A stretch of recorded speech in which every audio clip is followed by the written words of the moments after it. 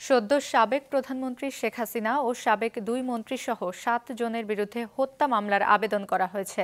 ঢাকার chief metropolitan magistrate আদালতের রাজধানীর আদাবর এলাকার বাসিন্দা, ক্ষুদ্র ব্যবসায়ী এস এম আমির হামজা সাতিল এই আবেদন করেন। মেট্রোপলিটন ম্যাজিস্ট্রেট রাজেশ চৌধুরীর আদালতে দুপুরে এই মামলার শুনানি হয়েছে। আজই মামলার বিষয়ে আদেশ দেওয়ার কথা রয়েছে। শেখ হাসিনা ছাড়াও সাবেক সড়ক পরিবহন ও সেতুমন্ত্রী আওয়ামী লীগ সাধারণ সম্পাদক ওবায়দুল কাদের, সাবেক স্বরাষ্ট্রমন্ত্রী আসাদুজ্জামান খান কামাল, পুলিশের সাবেক মহাপরিদর্শক আবদুল্লাহ আল মামুন, ডিএমপি কমিশনার হাবিবুর রহমান, যুগ্ম কমিশনার বিপ্লব কুমার সরকার, সাবেক ডিবি প্রধান হারুনা রশিদকেও আসামি করা হয়েছে। এছাড়া তৎকালীন সরকারের ঊর্ধ্বতন পুলিশ কর্মকর্তাদের অজ্ঞাতনামা হিসেবে মামলায় আসামি করা হয়েছে। শেখ হাসিনা পদত্যাগ করার পর এই প্রথম তার বিরুদ্ধে কোনো মামলার আবেদন করা হলো।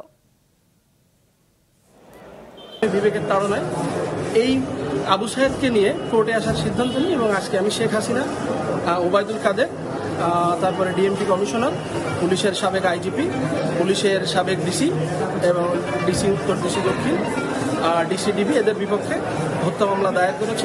আমরা বিজ্ঞ আদালতে মামলা দাখিল করার পরে বাদীর জবানবন্দি গ্রহণ করেছেন এবং বক্তব্য শ্রবণ করার পরে বিজ্ঞ আদালত বলছে যে আদেশ পরে হবে।